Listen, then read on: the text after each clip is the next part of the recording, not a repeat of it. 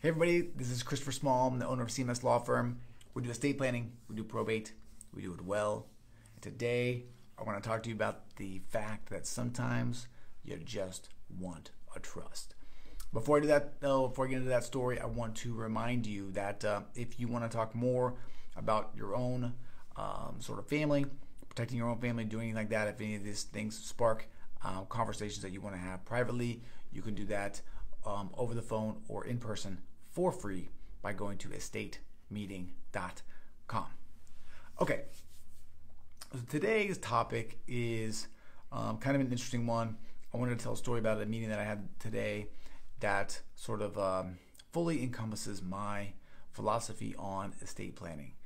And uh, this this was a phone call that I had with a potential client who was looking for help for herself and for her parents and, and some other things like that. And we got to talking and she was telling me about what she was looking for. And she was looking for this you know she was looking for that.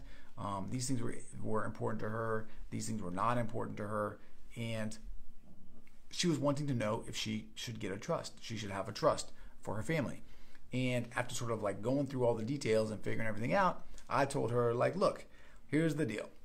Um, you can do pretty much all of the things that you want to do and you can accomplish all of the goals that you want to accomplish without having a trust.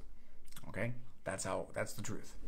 Um, however, you know, she said at the end of the day, I think I want to have a trust, and this is what I told her. That's just fine, and that's the truth. And I think that that is, is an important lesson when it comes to estate planning and when it comes to everything that's involved in your world.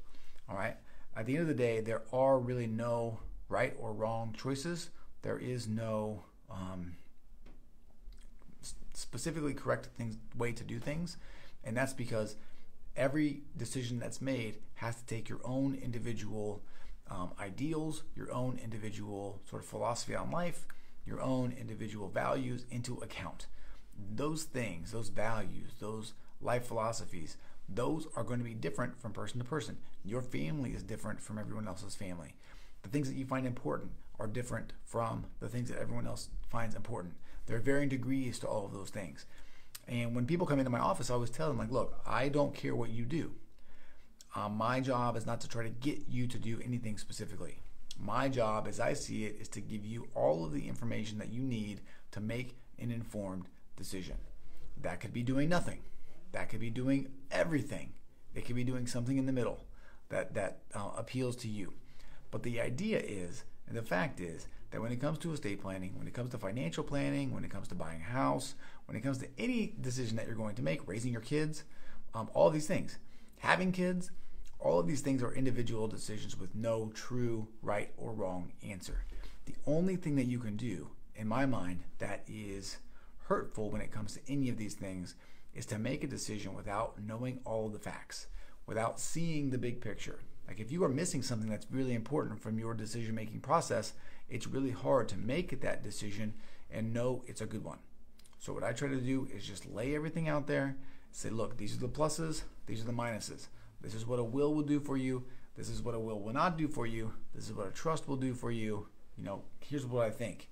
Do you need to, to accomplish these things with a trust? Maybe, probably not.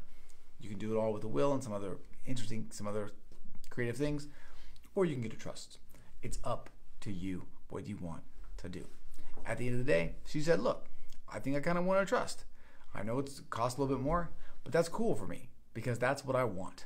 And I said, Okay. And I've had people do it the opposite way too, where I said, Look, a trust is a good idea for you. It's going to help you accomplish a lot of the things that you want to do. A will is going to be limited in what it can accomplish for you. And people say, You know what? I think I just want to do a will. And I say, You know what? That's fantastic. I'd be happy to help you if you want me to help you. Okay, so that's the point of the story. There's no nuts and bolts estate planning really in this one. I just want to reiterate the the fact that it's okay for you to choose something that's a little bit against the norm. It's okay for you to choose something that is specifically right for your family. That's the whole point. Okay? If you do it though without knowing all of the facts, if you do it without having a complete picture of the consequences and the benefits of your choice, that's a problem for me. All right?